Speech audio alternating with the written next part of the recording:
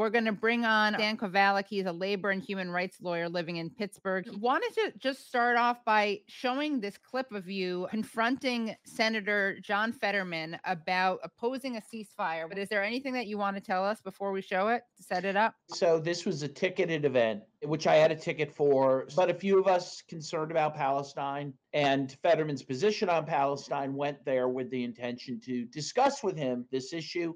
This is what happened. Why don't you support the humanitarian ceasefire? No, I'm with the God. team. If you'd like, I can talk to you. No, I can talk to. I voted for him. I'm sorry. This is a democracy. It absolutely is.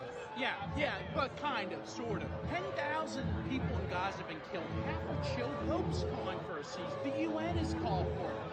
I'm just asking you. You're a good guy. I voted for you. I know you're a nice guy. This is important. You need to leave. Here, can I give you a phone?